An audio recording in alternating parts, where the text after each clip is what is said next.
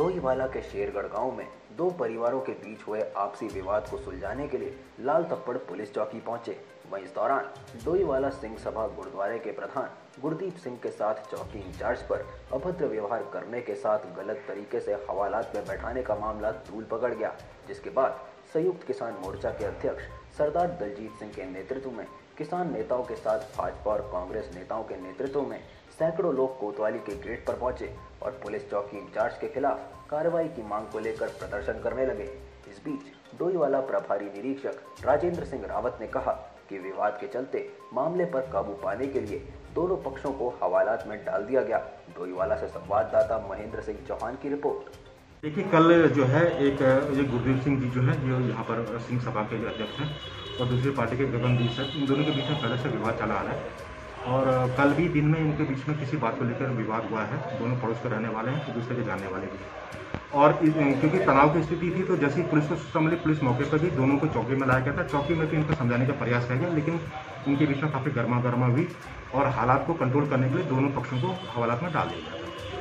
उसके बाद जो है चौकी इंचार्ज जो हमारे हैं वहाँ पे, उनको साथ ये ज्ञात नहीं था कि ये जो है, अध्यक्ष हैं, सिंह सभा और इस तरह से। तो इनका ये आरोप है कि मैं एक सम्मानित तत्व हूँ, मुझे हवालात में डाला गया मुझे सम्मान को ठेस पहुँची है। और वास्तव में यदि ऐसा हुआ तो हम भी मानते हैं गलत है इस तरह से। लेकिन क्योंकि हालात को नियंत्रण में करना बहुत आवश्यक था, क्योंकि कोई भी जो संगीन घटना घटित हो सकती है के देखिए, कल एक दुखद घटना हुई। डोयला संयुक्त किसान मोर्चा के संरक्षक एव डोयला गुरुद्वारा सिंह सभा के अध्यक्ष श्री गुरदीप सिंह जी के साथ लाल तप्पड़ चौकी में अभद्रता की गई। उसी के खिलाफ डोयला क्षेत्र के सभी किसान साथी यहाँ डोयला कोतवाली में बैठे हैं और हम सबकी एक ही मांग है कि जो लाल तप्पड़ चौकी के प्रभारी हैं, इनको तुरंत बर्दाश्त बर्खास्त किया जाए।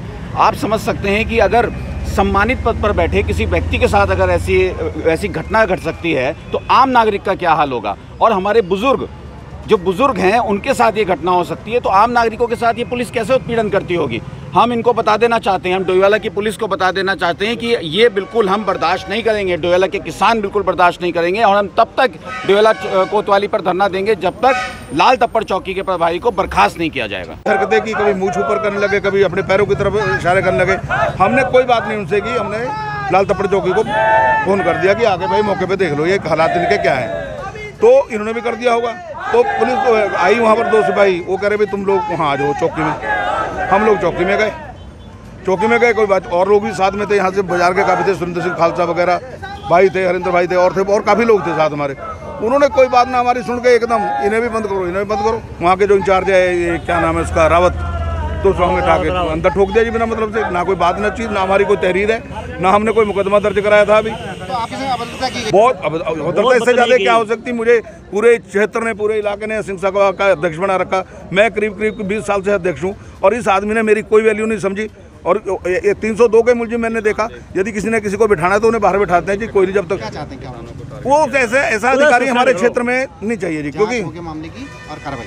कार्रवाई नहीं क्या सस्पेंड उसे जी? नौकरी से बस वहाँ से हट उसे ट्रांसफ़र कर दिया जाए तुरंत।